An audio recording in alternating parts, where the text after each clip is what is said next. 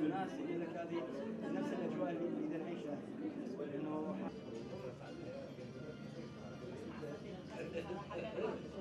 من حكي وعملت نفسها أنت من عند صندوق خربانه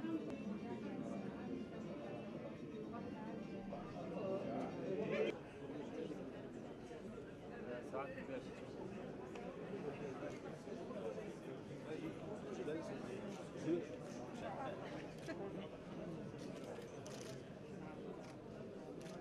فليتفضل.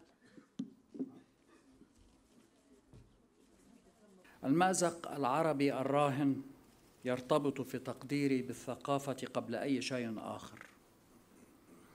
وإذا كانت المجتمعات العربية تمر بأزمة كبرى وممتدة نشهد جميعا تداعياتها على النسيج الوطني في بعض الدول وصولا إلى القتل على الهوية والتشريد لملايين البشر فإن علينا أن نبحث في الثقافة أولا.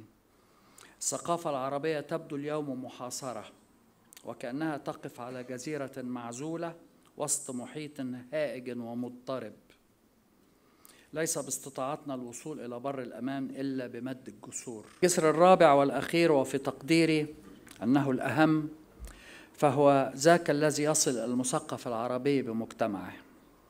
وأقول بكل صراحة أن الأحداث التي عصفت ببعض الدول العربية في السنوات الخمس الماضية كشفت عن هوة واسعة تفصل بين المثقف وواقعه السياسي والاجتماعي والاقتصادي. في الاستجابة للتحدي.